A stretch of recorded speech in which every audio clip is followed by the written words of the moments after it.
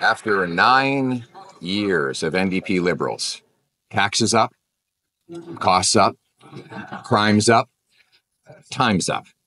And now he wants a 300% carbon tax hike, all the way up to 61 cents a litre. Why not let Canadians choose a common sense conservative government that will axe the tax, build the homes, fix the budget, and stop the crime now? The Right Honourable Prime Minister.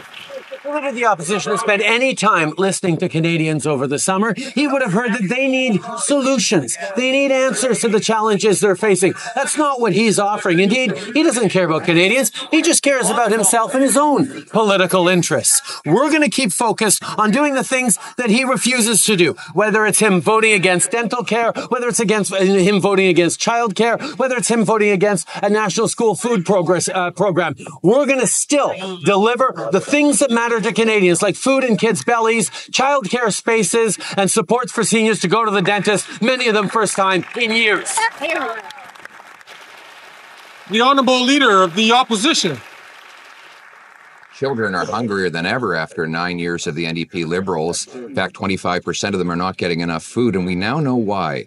A carbon tax fraud has been perpetrated by this NDP Liberal Prime Minister who kept secret Environment Canada documents that showed that the carbon tax was blowing a $25 billion hole in our economy. Our economy per capita is smaller today than it was 10 years ago, during which time the American economy has grown by 19%. Instead of a reckless plan to hike the tax to 61 cents a litre, why not allow Canadians to vote to axe the tax?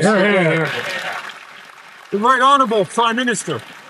Here's a news flash for the conservative leader. Climate change costs money. And what would cost the most money to Canadians at all is his do nothing climate plan. News flash. When the Toronto subway gets flooded, it costs money. News flash. When fire, forest fires hit communities across this country, it costs Canadians money to rebuild. When you have droughts that hit farmers and, and agriculturists across this country, it costs money. What doesn't cost money is putting money in eight out of ten of the money of, uh, of Canadians' pockets with the Canada Carbon Rebate to support their families and fight climate change. The Honourable Leader of the Opposition. Mr. Speaker, the Prime Minister just proved my point. His tax doesn't stop floods, fires, or droughts. Yeah. All it does is create more poverty. This also from a high flying, high taxing, high carbon hypocrite who flew 92,000 kilometers in a fuel guzzling tax funded private jet while he taxes single moms and seniors for heating their homes. Now, carbon tax Carney wants him to put the tax back on home heating oil. Will he reject carbon tax Carney and instead allow Canadians to choose to axe the tax?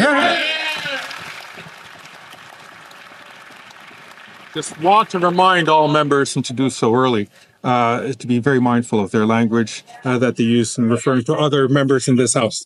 The Right Honourable Prime Minister. Mr. Speaker, the conservative leader doesn't believe in climate change, and that's why he has a do nothing plan to fight climate change. It would cost Canadians money and challenge our, the future we're building for our kids. Our plan with a Canada carbon rebate puts eight more dollars in eight out of 10 Canadians' pockets right across the country, supports the middle class uh, and people working hard to join it while delivering the kinds of investments that are going to grow our economy and reduce emissions at the same time. This is a responsible climate plan that fights climate change and supports Canadians. He wants to do nothing. He wants to hurt Canadians. That's right.